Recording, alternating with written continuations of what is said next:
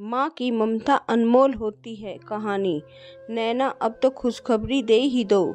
नैना की एक दोस्त ने नैना से कहा, नैना व विक्रम अपनी शादी की सालगिरह मना रहे थे। उनकी शादी को चार साल हो गए।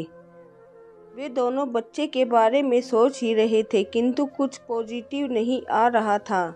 उन दोनों को लगा कि शायद कुछ वक्त इंतज़ार ही उनकी किस्मत में है। लेकिन उन्हें नहीं पता था कि इंतज़ार इतना लंबा हो जाएगा। धीरे धीरे वक्त बीतता गया और उनकी शादी को आठ साल हो गए, लेकिन वे दोनों अभी भी बच्चे के लिए तरस रहे थे। शुरू शुरू में सब अच्छा था, जैसे नई दंपत्ति के लिए होता है। सबने बच्चे के लिए आशीर्वाद तो खूब दिए, किंतु पति पत्नी ने आपस में तय किया था कि वे बच्चा शादी के दो तीन साल बाद ही प्लान करेंगे। सब कुछ सही ही चल रहा था। शुरू में वे संयुक्त परिवार में रहते थे, लेकिन विक्रम का ट्रांसफ़र दूसरे शहर में होने की वजह से वह अपने घर से दूर शहर में रह रहे थे। धीरे धीरे नैना को भी बच्चे की कमी महसूस होने लगी। इतने वक्त बाद भी बच्चा न होने पर दोनों ने डॉक्टर को दिखाया। उन्हें पता चला कि कमी नैना में ही है। इस समय विक्रम ने नैना को संभाला व उसका पूरा साथ दिया। और फिर नैना ने मंदिर में प्रार्थना की, मस्जिद में दुआ की, मज़ारों पर धागा बांधा, लेकिन उसकी कोई कोशिश सफल नहीं हुई। अब तो नैना बच्चे के लिए बहुत ज़्यादा तड़प रही थी। उसे लगता था, बस कैसे भी बच्चा उसकी गोद में आ जाए। जब भी वह कहीं समाचार में या कहीं खबर देखती कि किसी ने बच्चे को फेंक दिया है तो उसे लगता, एक मैं हूँ जो बच्चे के लिए तरस रही हूँ। और एक वह है जिनको बच्चे चाहिए ही नहीं। उनको भगवान बच्चे क्यों देता है जिनको नहीं चाहिए? नैना के घर पर काम करने वाली आती थी। उसकी एक नातिन थी जो कभी कभी उसके साथ आती थी। उसने नैना को बताया कि यह उसकी बेटी की बेटी है जिसका तलाक हो गया है और वह उसके साथ ही रहती है। जब जब वह बच्ची आती तो नैना उसी में खो जाती। उसके साथ खेलती, उसके लिए खिलौने व कुछ कपड़े भी लाती। विक्रम भी नैना को ऐसे देखकर खुश हो जाता, पर वह नैना को समझता था।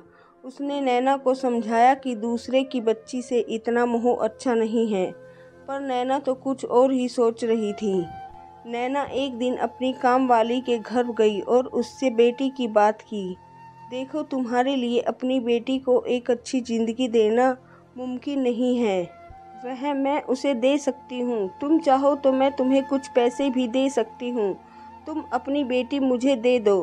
बच्ची की माँ सब चुपचाप सुन रही थी। जब नैना ने अपनी बात ख़त्म की तो वह बोली, देखिए नैना जी, मैं आपकी परेशानी जानती हूँ और आपको समझती भी हूँ। मैं अपनी बच्ची के लिए बहुत मेहनत कर रही हूँ और उसको एक अच्छी ज़िंदगी देने के लिए मैं आपको बता दूँ कि पैसे से काफ़ी कुछ खरीदा जा सकता है लेकिन सब कुछ नहीं खरीदा जा सकता। खासकर माँ को। माँ की ममता अनमोल होती है। नैना चुपचाप वापस अपने घर आ गई। उसे लगा था कि शायद पैसों को सुनकर उस, उस बच्चे की माँ बच्चे को उसे दे देगी। अब नैना मन ही मन बहुत पछता रही थी। उसने दिमाग में बार बार वही बात घूम रही थी कि माँ की तो ममता अनमोल होती है। और फिर एक दिन उसने यह सारी बात अपने पति को बताई। उसका पति उसकी हालत समझता था, इसलिए उसने नैना को कुछ भी नहीं कहा। फिर नैना ने कहा, मैंने एक फ़ैसला लिया है। मुझे समझ आ गया कि मुझे क्या करना है। विक्रम, मैं चाहती हूँ कि हम बच्चा अनाथालय से गोद लें। शायद इसलिए भगवान ने मुझे माँ बनने का सौभाग्य नहीं दिया। कि मैं किसी और बच्चे को अपना प्यार ममता दे सकूँ। अब मेरी समझ में आ गया है कि माँ की ममता अनमोल होती है, उसे बेचा या खरीदा नहीं जा सकता। पता नहीं कहाँ से ऐसे ख्याल मेरे मन में आ गए थे, पर अब मैं सब समझ गई हूँ। तुम मेरा साथ दोगे ना?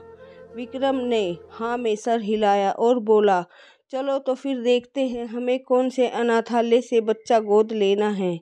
इसके लिए भी अप्लाई भी तो करना होगा। नैना उसकी तरफ़ देखकर मुस्कुराई और अपने आने वाले बच्चे के सपने में खो गई।